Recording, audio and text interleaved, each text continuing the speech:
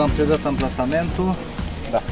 Ceea ce vreau să vă spun și vouă, așa cum am spus și la ceilalți, că nu accept nicio abatere de la contract, de la termen, de la calitate, de la nimic.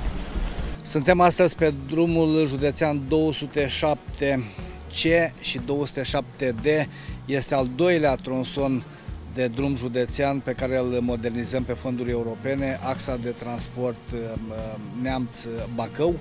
Am venit și am uh, predat amplasamentul astăzi, am discutat cu constructorul de aici despre contract, despre termene, despre calitatea lucrărilor și i-am atenționat și pe ei că la prima batere, dacă văd că lucrurile nu merg cum trebuie, reziliem contractul.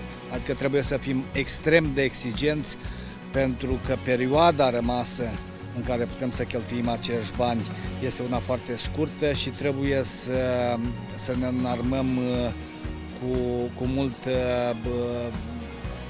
determinare la contractul ăsta ca să putem să-l ducem la bun sfârșit. Așadar, voi monitoriza săptămânal uh, aceste două contracte și sper ca în cel mai scurt timp să putem să le, să le finalizăm și să avem un drum județean uh, modern, un drum județean care să fie pe, pe placul nemțenilor și a turiștilor care ne vizitează județul.